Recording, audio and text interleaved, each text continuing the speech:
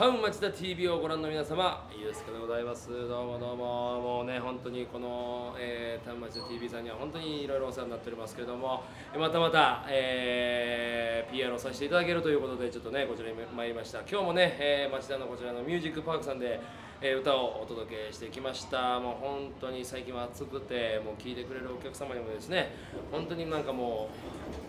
水分取ってくださいというちょっと心配をしたりですね、えー、いろんなことを声をかけさせていただいておりますけども、まあ、それとはまたね、えー、同時に、まあ、こちらのシングルもね、えー、もう本当に絶賛発売中でございます。もう本当にありがたいことに400枚近くいっております今ね、えー、もう、まあ、本当に夏というところでいろんなところでいろんなイベントでね、え、やらせていただいておりますけども本当おかげさまでこの CD もねたくさんの方に聴いていただいて本当にありがたい限りでございます、え、このずっとこのままもう間もなく9月とかですね10月とかに、えー、カラオケの鉄人からですねカラオケの配信が決定いたしました。えー、こちらももし聴いていただいてもういいなと思って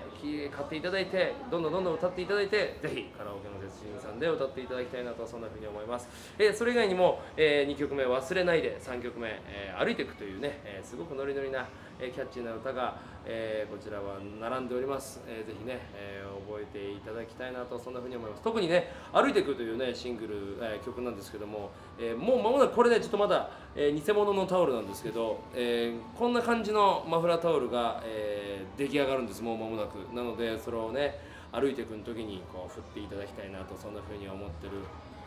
次第でございます、はい。えー、絶賛発売中でございますので、えー、ずっとこのままぜひ、